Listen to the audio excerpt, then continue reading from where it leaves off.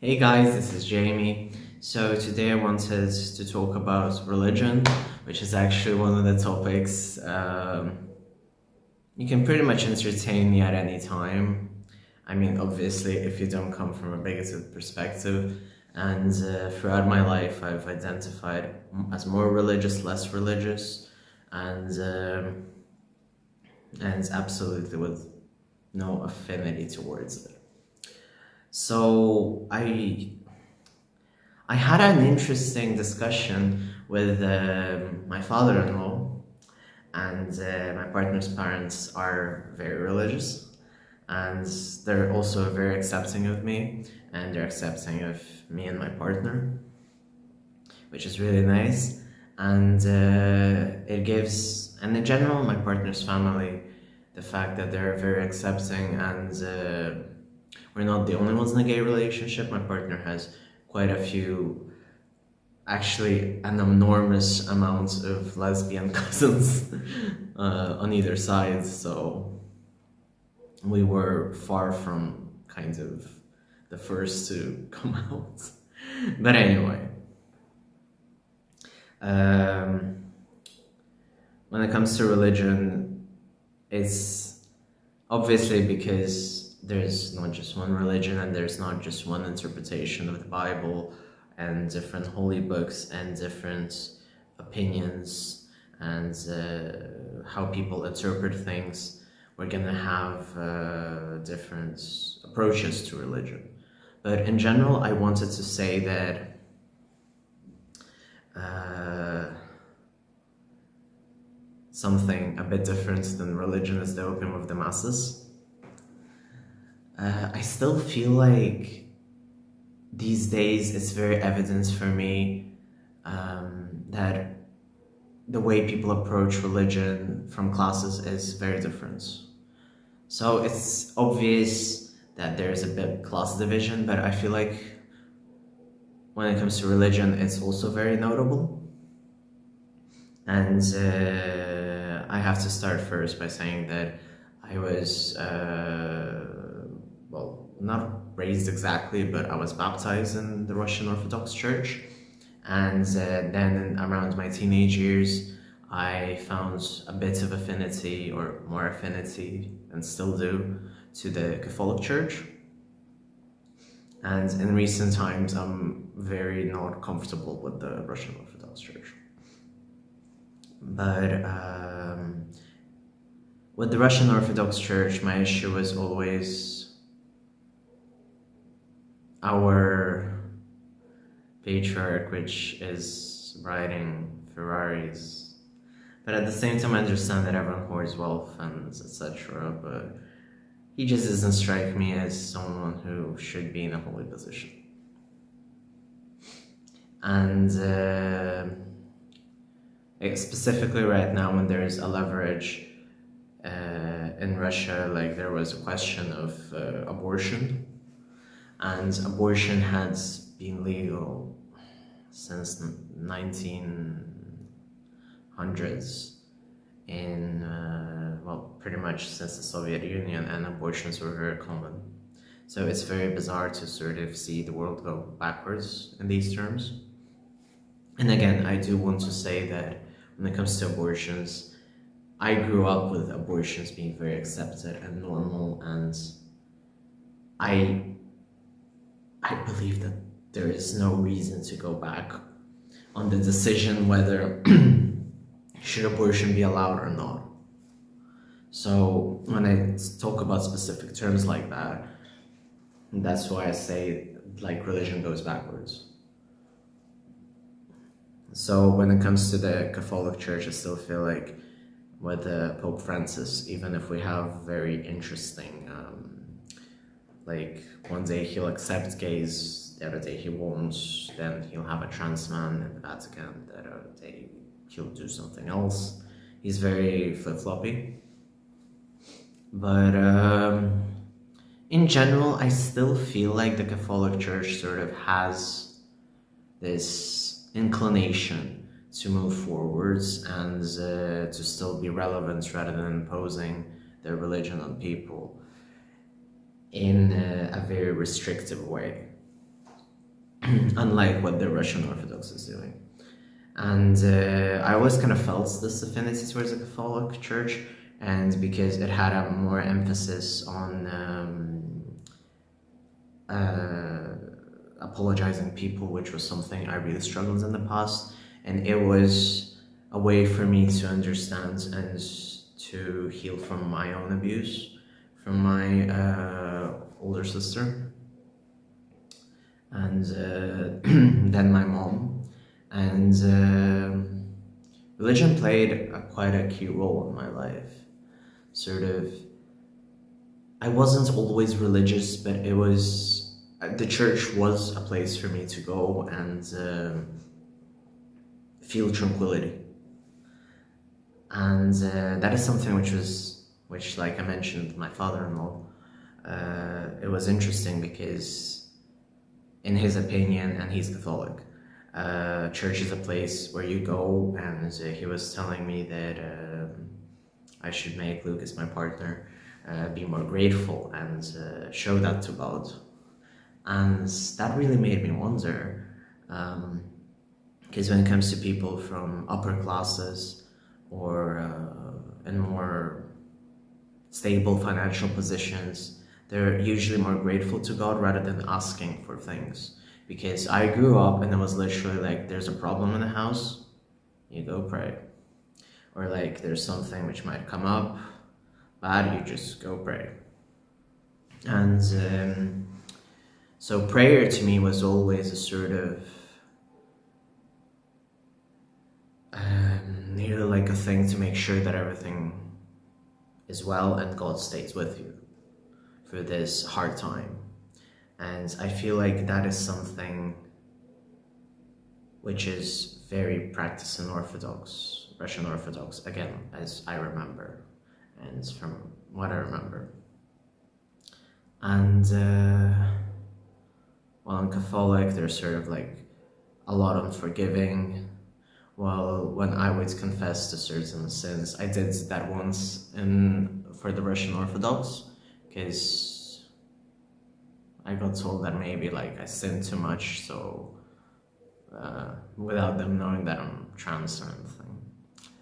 Uh, so I just went to confess my sins. It was a very weird experience, and uh, it was more like to forgive yourself further. You need to do this and it wasn't a sort of God forgives you. Like it was a God forgives you through the uh, for the priest at the time, but it was still kind of weird and it was and it was a bit pushy. And in general, um, even though I don't have any contact with my mother right now, and uh, I, I doubt I will, because I just, I had a very difficult uh, relationship with her after I came out. Uh, she did say things to me that I am grateful for when it comes to religion. Uh, like I remember when I came out that I wasn't straight and I wasn't, I just came out, it was more of a coming out that I'm questioning. And uh, I told her that I feel that I do not belong in church and she took me to church. That summer I said that to her, but I was like in the UK at the time, then I went to visit her in Lithuania. And we sat in the church and she told me, um, it's not about how the priests interpret God's teachings, it's always about your relationship with God and religion and the church as in the church, I mean the, the place itself. So, and then I also had the moment when I wanted to convert to Catholicism, and it was also uh, by my mom, who went specifically to the Catholic Church and asked uh, whether I could go from Russian Orthodox to Catholic. And they said that it's the same thing. I don't need a baptism, and I'm welcome to pray and convert just like that. So ever since I kind of moved abroad or was away from Russian Orthodox churches, I do prefer to go to Catholic churches to pray. Sometimes I do the Catholic cross, sometimes the Orthodox. Um, but that's kind of stayed with me.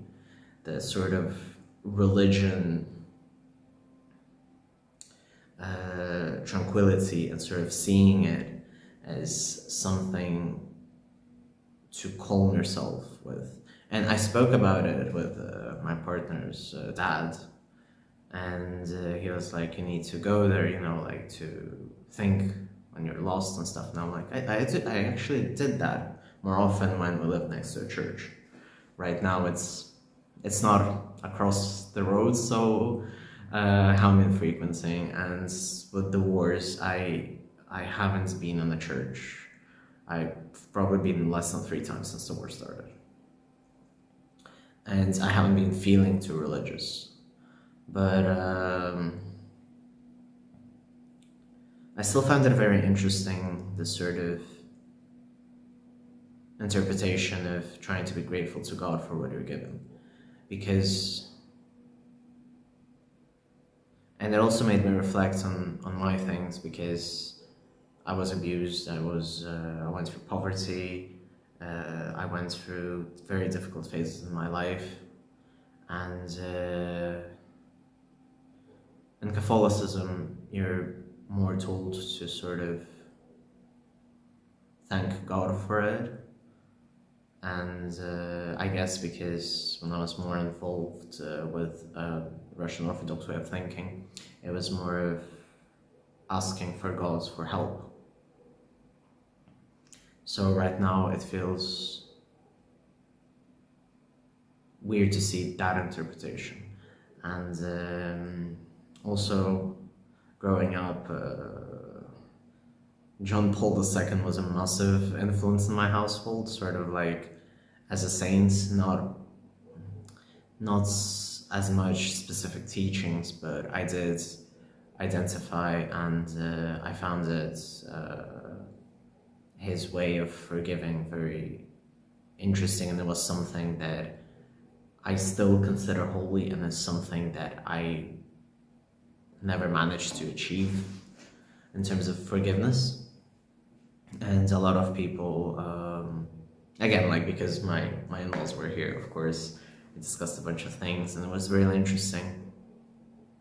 Because they were like you need to forgive people to set you free and I'm still working with uh, moving on from terminating my relationship with my mother and uh, it was very I had to sort of use the same pattern as I did with my sister. Uh, sure my sister was a much bigger evil. And uh, my sister has absolutely like um, I had no good memories of her. And uh, she was abusive to me throughout my entire life. So it wasn't a difficult it wasn't as straight it wasn't with my mother it wasn't as straightforward and that's why it's more difficult when it's great about it. So in a way, I'm not taking the pattern of forgiving, I'm just accepting what happens and moving on. And as much as I try to sort of approach that forgiving or forgetting or moving on with them in my life, it's not something I could do and um, I chose myself in the end.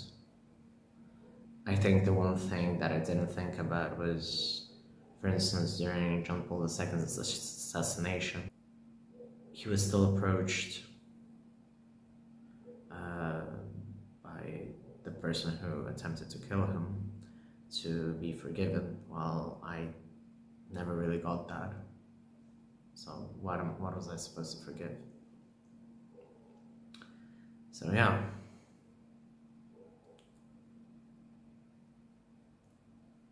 But yeah, when it comes to classes, it's it's interesting because obviously, due to class division, you have more things to be grateful for.